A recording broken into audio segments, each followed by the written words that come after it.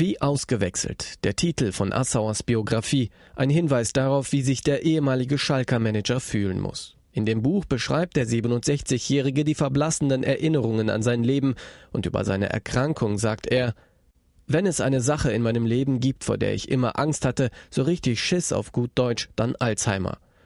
In dieser Essener Klinik wird Rudi Assauer derzeit behandelt.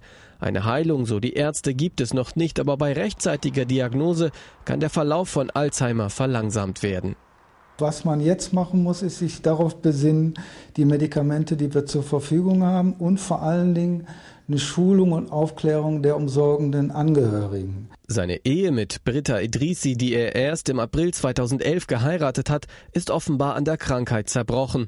Jetzt lebt Rudi Assauer bei seiner Tochter Bettina.